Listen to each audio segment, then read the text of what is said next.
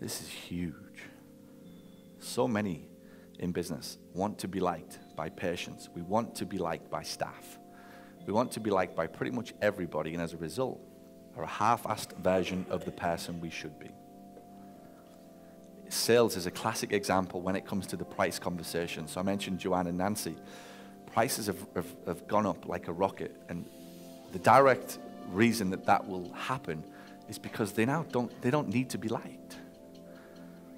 That's it. If you really dig deep into why your fear of selling is, it's not because it's healthcare.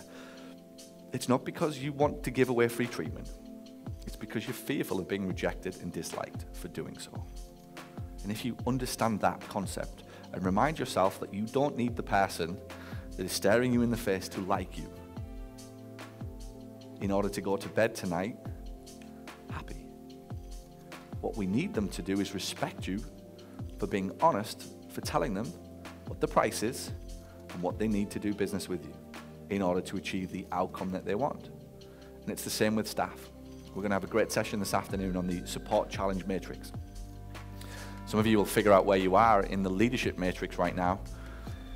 Whether you're a protector, whether you're a, uh, too dominant, whether you are an abdicator, whether you are a liberator. And many times, what you find in, in our types of businesses, healthcare, where naturally you want to help people, you become a protector and you want to be liked naturally by people. Now, the only thing that you can do is be aware of that, that it's actually happening to you, that many of your conversations have been swayed by need to be liked. And I'm going to encourage you to start swaying your conversations to be respected. I don't need you to like me. I don't need my kids to love me. That's not the deal. The deal is I love them there's nothing that I signed in a contract on the 4th of October 2013 that says this kid has to love me. But I have to love him. That's the deal. And much like with staff, I don't need you to like me. There's nothing in this contract that says me and you need to, to like each other. But we have to respect each other. I have to respect you, and you have to respect me. These are my standards. This is what I expect. My job is to communicate that to you clearly, fairly, firmly, be consistent, all of the things you would do as a parent. To my staff, to my vendors, to anybody that does business with me.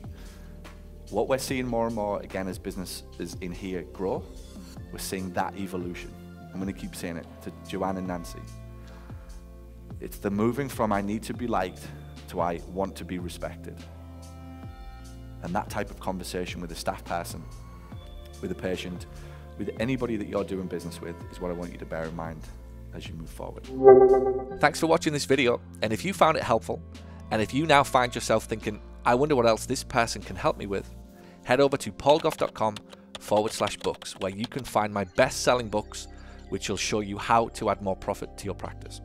Or send an email to paul at paulgough.com to ask about how we can help you accelerate the growth and profitability of your clinic.